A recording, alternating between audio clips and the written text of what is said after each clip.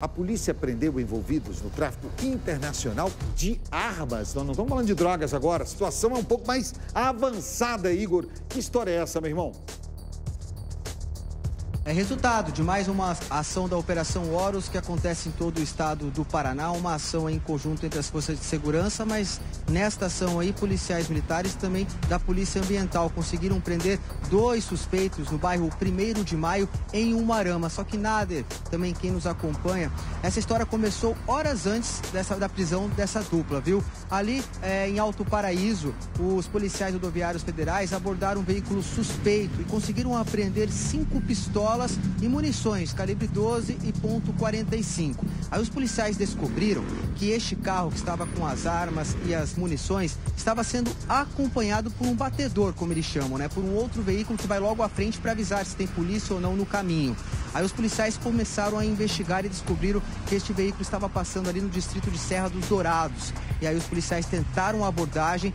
Esse carro sedã de cor Bordeaux estava ocupado por dois homens que aceleraram em fuga. Começou uma perseguição que acabou só no bairro, no bairro 1 de Maio, lá em Umarama. Com a dupla, os policiais apreenderam 6 gramas de maconha, 115 reais em dinheiro e dois celulares quebrados. Possivelmente quebraram para esconder informações para que a polícia não descobrisse nada. A polícia fez a ligação e levou os dois homens que foram detidos para a delegacia. O tenente da Polícia Militar, ele conversou com a nossa equipe e falou como foi essa prisão. Vamos ouvir.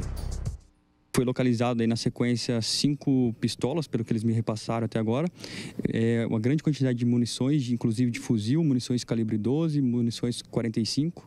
As pistolas, inclusive, pelo que eles me mencionaram, tinha até seletor né, de disparos. E daí foi repassado que possivelmente teria um veículo Onix Bordeaux que estaria atuando integrado com eles ali, estaria de forma conjunta, é, conhecido popularmente como os batedores, né, olheiros, enfim, que esse veículo estaria transitando nessa região. Nesse, nesse trânsito que a gente estava indo em direção a Icaraíma, cruzou por nós esse veículo Onix Bordeaux. Então a gente fez o retorno e tentou fazer a abordagem ali com sinais sonoros, sinais é, visuais também, né, giroflex. E esses indivíduos começaram a fuga.